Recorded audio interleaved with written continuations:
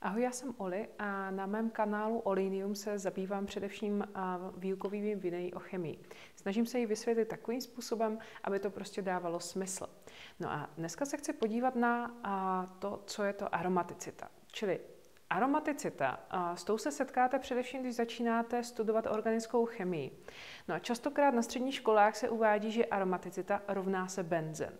Tedy, že benzen je ta jediná většinou a látka, která je aromatická. Co to ale znamená? Pojďme se podívat na ta pravidla a ukažme si dneska také molekuly, které jsou kromě benzenu také aromatické.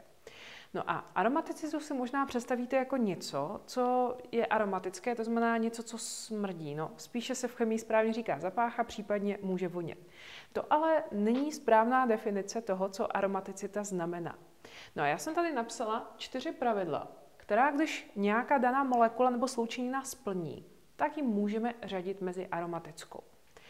Aromatické sloučeniny jsou pro nás hodně důležité. A je to z toho důvodu, že aromatické sloučeniny jsou velmi stabilní. To znamená, pokud může vzniknout během reakce nějaká sloučenina, která je aromatická, nebo bude splňovat ta pravidla aromaticity, tak určitě vznikne.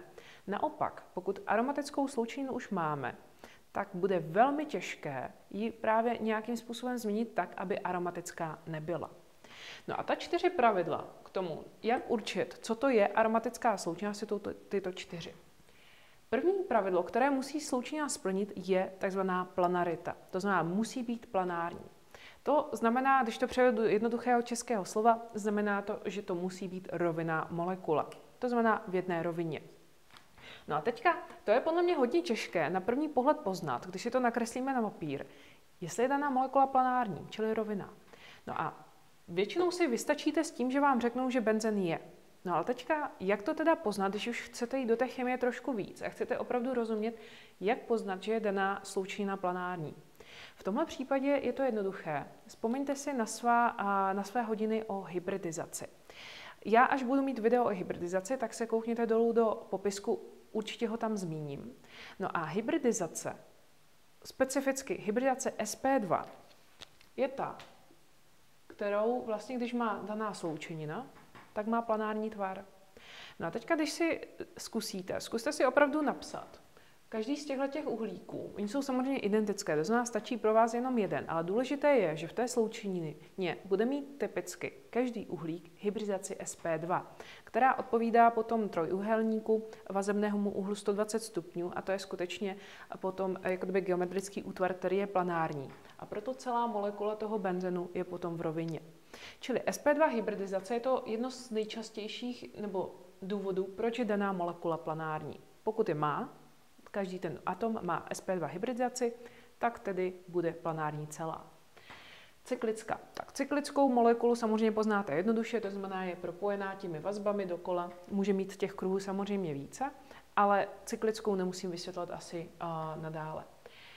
Třetí pravidlo, že, má, že musí splňovat nebo musí mít tzv. konjugovaný P systém delokalizovaných vazeb nebo elektronů, ve zjednodušeném příkladu na benzenu vysvětlovaném je to, že vlastně když máte střídání dvojných a jednoduchých vazeb, tak to je tzv. konjugovaný P systém delokalizovaných vazeb, čili dvojná, jednoduchá, dvojná, jednoduchá, dvojná, jednoduchá.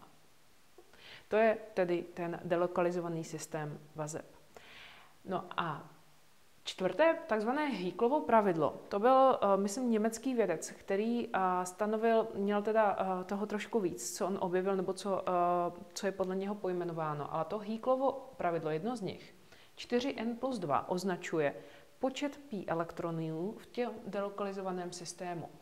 No a teďka pro 4n plus 2 a nepůjdu do hloubky, proč vlastně je zrovna tento a není to třeba, já nevím, 4, 4n plus 1, ale pokud bude existovat 4n plus 2 pi elektronů v, těm, v tom konjugovaném systému, tak taková moleka, molekula bude potom aromatická.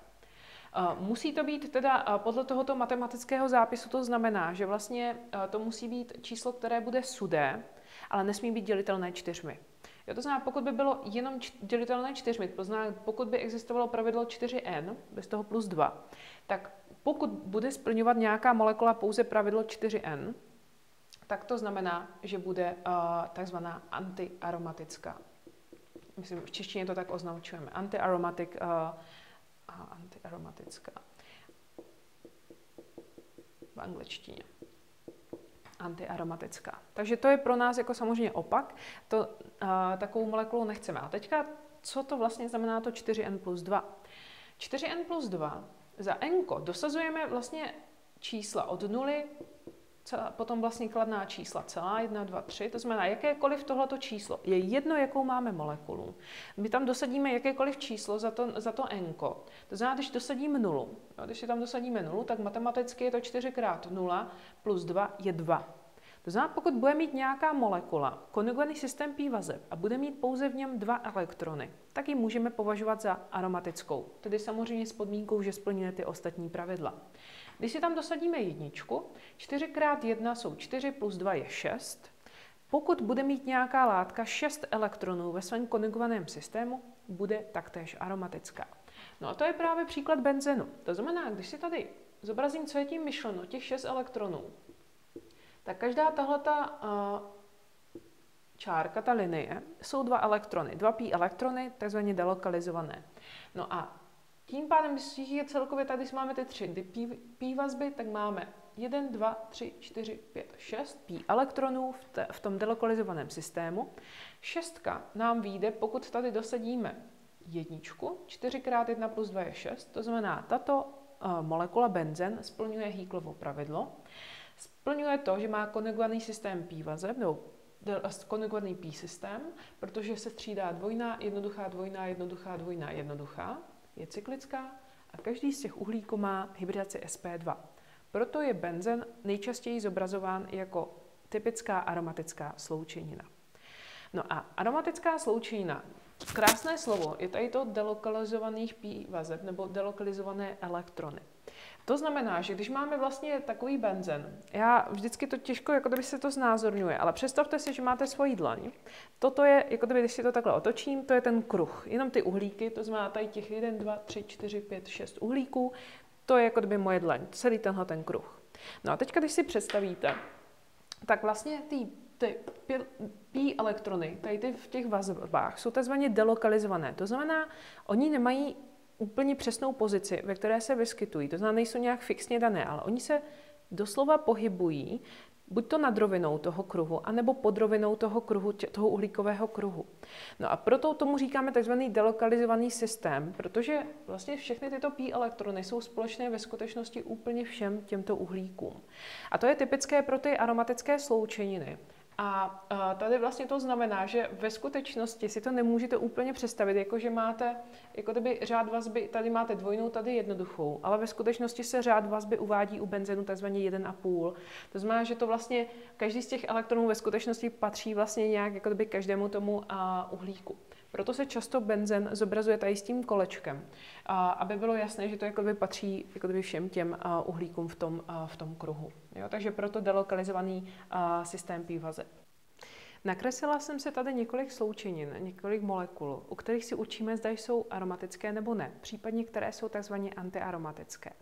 No a to je vlastně taková častá otázka, která samozřejmě pokud nikdy chemii dělat nebudete, tak proč byste se na to dívali? To vůbec jako do středoškolských nějakých testů nepotřebujete.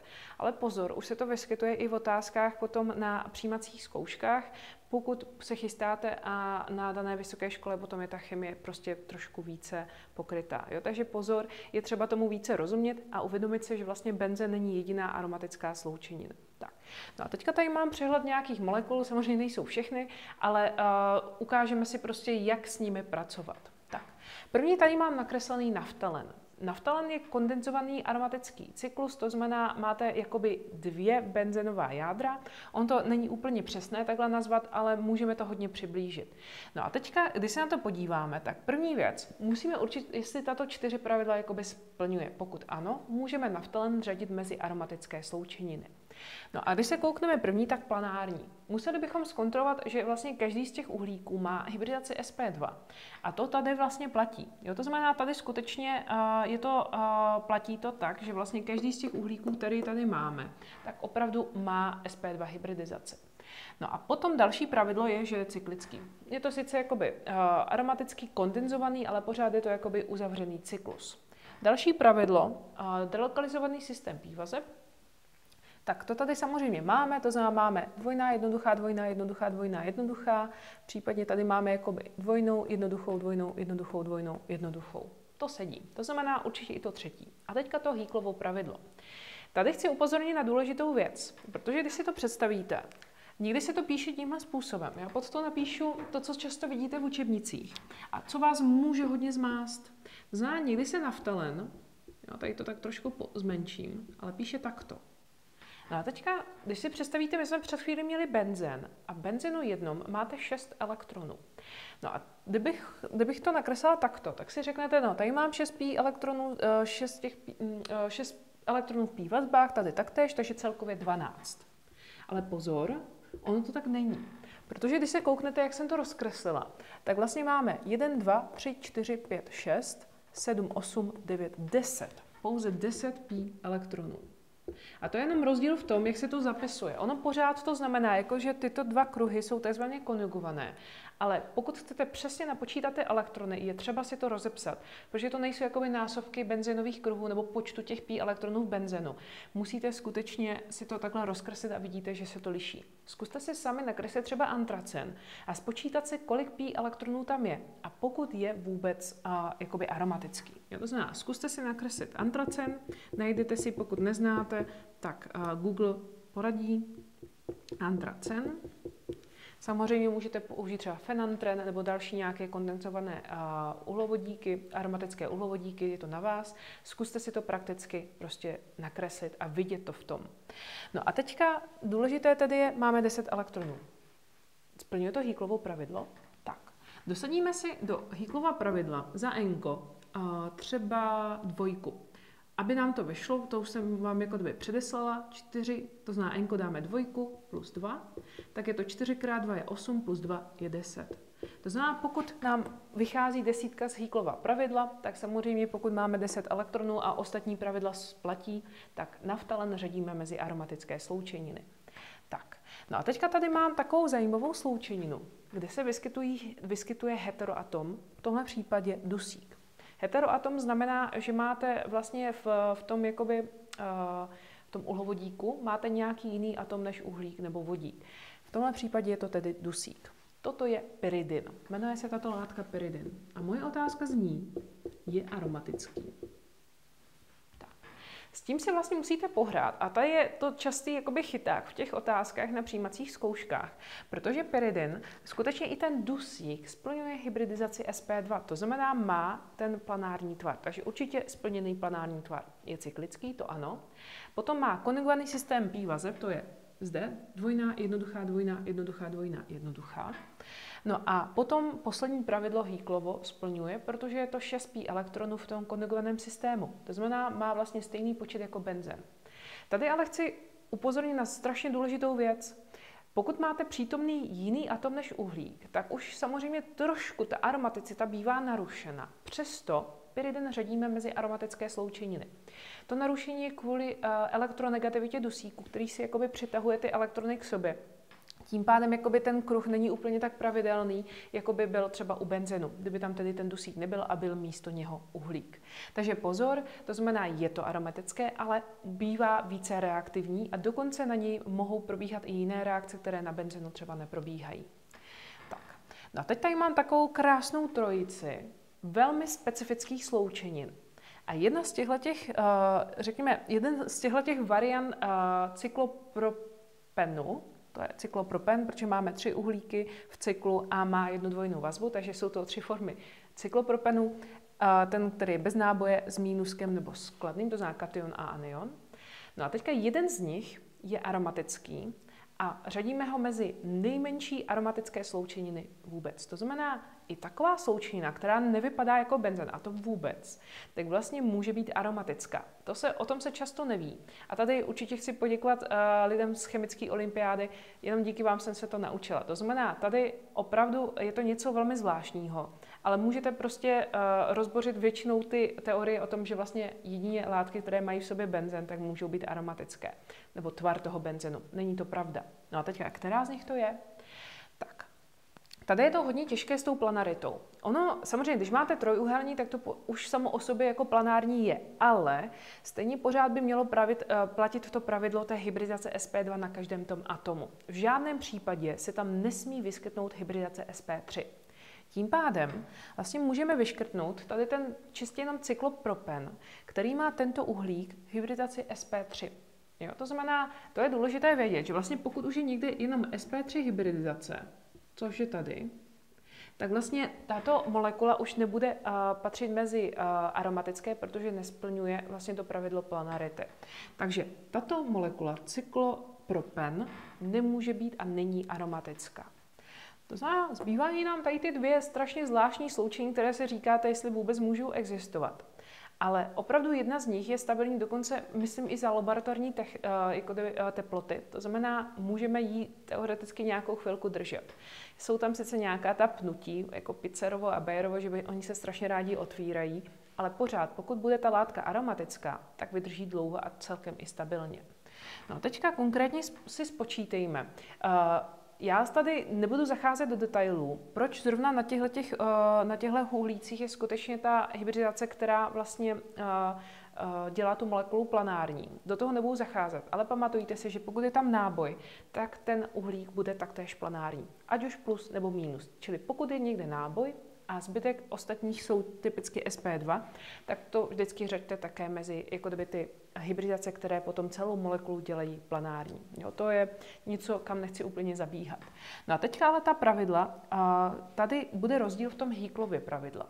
Protože jsou cyklický a mají systém konjugovaný P systém, tady zase specifická konjugace, dvojná jednoduchá náboj, je taktéž konjugovaný systém. Jo, to znamená, jak tato, tak i tato molekula mají konjugovaný systém a mají, jsou planární a jsou cyklické. To pravidlo Hýklovo bude tedy ten rozdíl, který rozliší mezi aromatickou a v tou druhá bude ve skutečnosti antiaromatická. Tak. No a teďka si spočítejme elektrony tady v té první. To znamená, tady máme první a druhý, ale tady, když máte kladný náboj, tak tam vlastně žádný elektron v tom konjugovaném systému není. To znamená, celkový počet těch elektronů v P systému jsou dva. Tady naopak, když máte jeden, dva a máte tady záporný náboj, tak to je jako byste tam měli vlastně další takový uh, tu p vazbu. To znamená, to jsou dva elektrony a toto jsou dva. To znamená celkově čtyři elektrony. No, který z těchto těch počtů splňuje Hicklovo pravidlo? Když si dosadíte, abyste dostali dvojku, tak když si dosadíme 4 krát 0 plus 2, to se rovná 2. 4 krát 1 plus 2, to se rovná 6. To znamená, když nám vychází v Hýklově pravidle dvojka, tak tahle molekula, tento cyklopropenový kation, splňuje Hýklovo pravidlo a všechny ty ostatní tři. To znamená, toto je právě ta nejmenší aromatická sloučenina, kterou známe. Vydrží stabilně pravděpodobně i za těch stupňů nějakých 20 stupňů Celsia, to znamená, eh, teoreticky se na ní něco dá dělat, ale není to úplně ideální situace, protože je to uh, velmi jako by tvar, který je, se strašně rád jakoby otvírá, to znamená, málo kdy vydrží celý. Tato sloučenina nevydrží stabilně vůbec. Není aromatická, naopak je antiaromatická, protože je to 4N. A tím pádem vlastně tato uh, sloučenina určitě neřadíme mezi aromatické, ale naopak antiaromatické. Tato není aromatická vůbec. Jo, to znamená, nejsou aromatické a tato konkrétně ještě je antiaromatická. Aromatickou je právě tento kation. No a teďka zkuste to samé vlastně u těchto sloučenin. To znamená, já jsem tady nakreslila cyklobutadian, nějaký jeho, nějakou variantu ve smyslu toho, že tady máte nějaké dva záporné náboje. A zkuste si ještě napsat, jak to bude s furanem. To znamená, nakreslím sem furan. Zkuste si napsat, která z těchto těch molekul bude aromatická, která případně bude antiaromatická, anebo prostě jenom aspoň, které jsou aromatické a které ne.